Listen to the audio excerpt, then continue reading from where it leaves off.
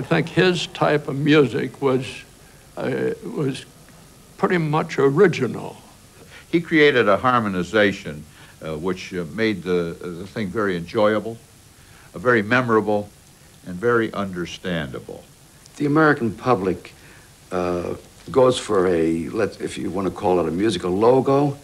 They've always accepted these other kind of bands like uh, a Tommy Dorsey with his trombone theme and his style, or Benny Goodman with his clarinet and his style. I think that, that Glenn's sound was even more lasting than these others because it was not just an instrument, it's it, he created a, a sound and a feel.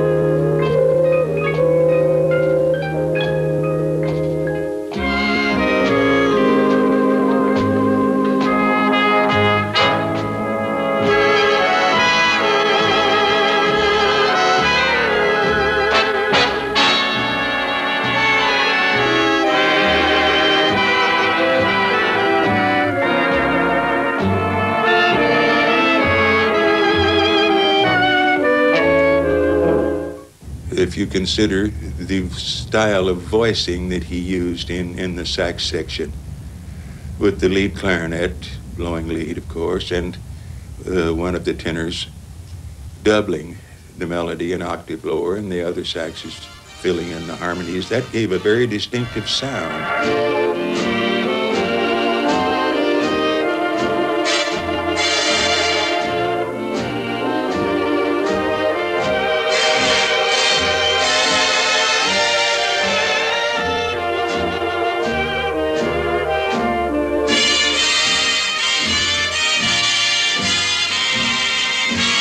This is what really set the band apart and made it an individual band. That clarinet lead was the identifying sound of the Glenn Miller Band forever after.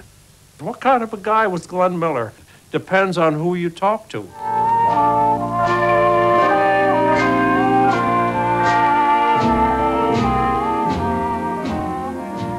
Glenn Miller was probably one of the most honest, straightforward men I've ever known. He is also one of the most uptight men I've ever known. Uh, he would very hard to to uh, to pierce that veneer. He was quite defensive in many ways, emotionally. He didn't. He never wanted to show his emotion. It came from a Midwest background, uh, early Midwest background, where men were men, and they they stood on their own. Up in front of a band, he was kind of dry, but he was a warm person if you knew him, and if he had the time to be uh, anything else. I got along with him, but he used to bully people and, and uh, you know, get one up on him. and uh, he had the guys actually afraid of him. I was not afraid of him. Oh, he was a very astute businessman. He was uh, all all out to, uh, you know, have a very successful band. He was willing to try anything to uh, to make it. I don't know what it is that makes a band tick guess it's just playing together. Either you have it or you don't. I knew that Glenn was a very opinionated man, and I knew that he either liked you or he didn't like you. He, he was that way about musicians. He either liked the way they played or didn't like the way they played. This was a world of, of black and whites and no grays. No one can say I'm playing any favorites, although I have a few. Well, a lot of the boys in the band uh, thought that Glenn was hard to work for. There is, I believe, no such thing as a leader that's hard to work for. When a leader hires his sidemen, he expects them to do what he wants them to do, play like he wants them to play.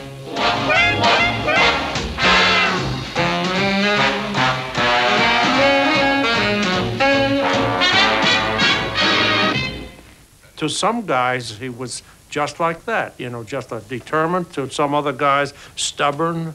Some other guys, you know, wise. Uh, to me, you know, he was a friend. And uh, uh, I, I recognized a lot of these qualities that other people put him down for, but he never acted that way toward me.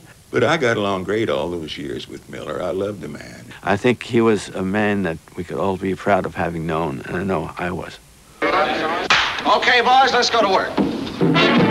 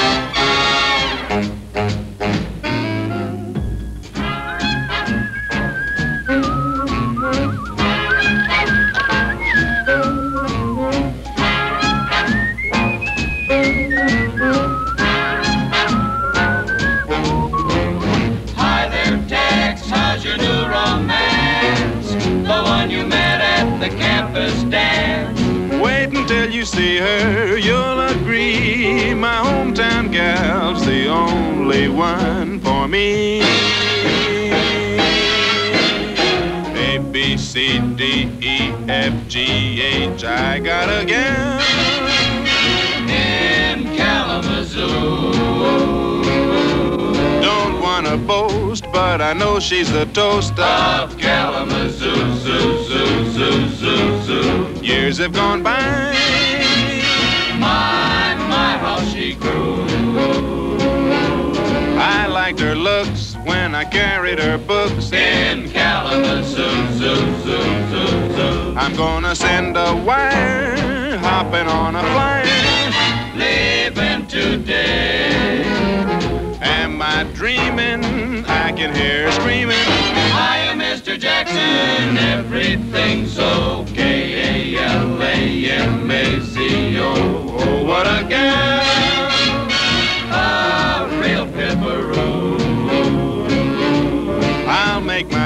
For that freckle-faced kid I'm hurrying to.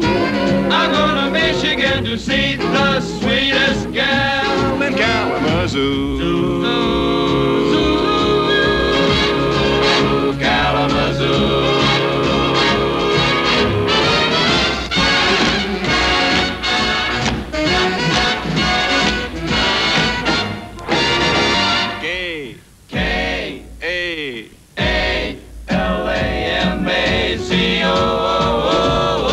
A gal, a real pipperoo. I'll make my bid for that freckle-faced kid I'm hurrying to.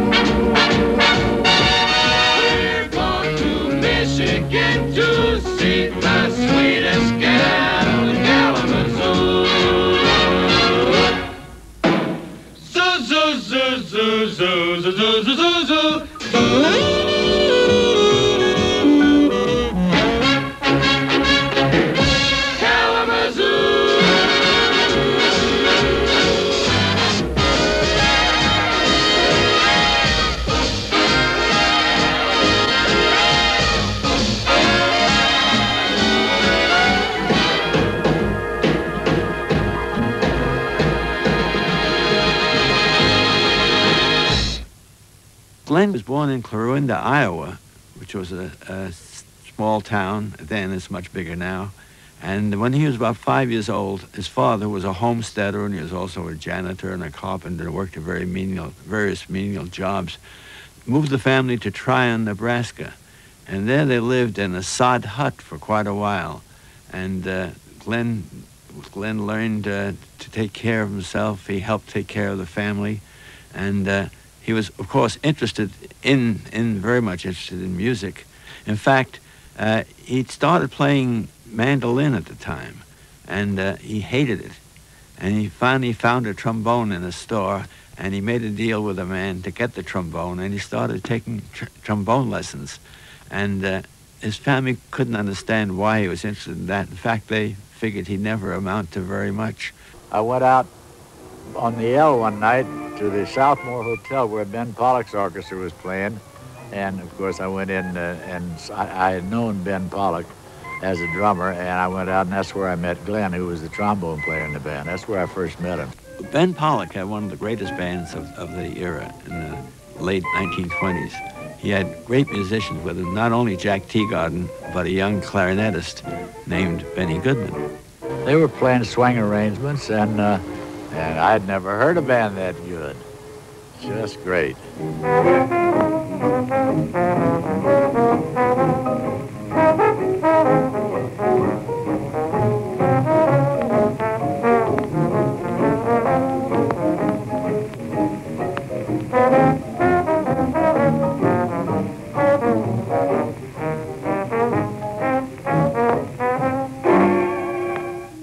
Well, I didn't know enough about trombone be a good judge of it, but I told Ben Pollack about a trombone player in Texas named Jack Teagarden. And I remember Pollack said, yeah, he said, well, all those guys down there think they're great until they get up here with the real pros. And lo and behold, a year later, he had Jack in the band. But what would they do about Glenn? Because there's only one trombone player in the band. And so they talked to Glenn, and Glenn went to hit Teagarden. And he said, man, I mean, this guy's too much. I, uh, I can't compete with him. Get him, and I'll just stay on as an arranger. And so that's what happened. Eventually, the band went to New York, and Glenn came to New York with the band, arranged there, and became established in New York as an arranger, and also later on as a studio trombonist. Smith Ballew was the darling of the jet crowd, you know, in the nightclubs. So he got a big band. He got Glenn Miller to, to uh, organize it for him. And uh, he, we'd go out and we'd play for a month or sometimes a little more. And then we'd break up for a month. And then we get together again. That's how bad things were at that time. This is during the Big Depression, remember.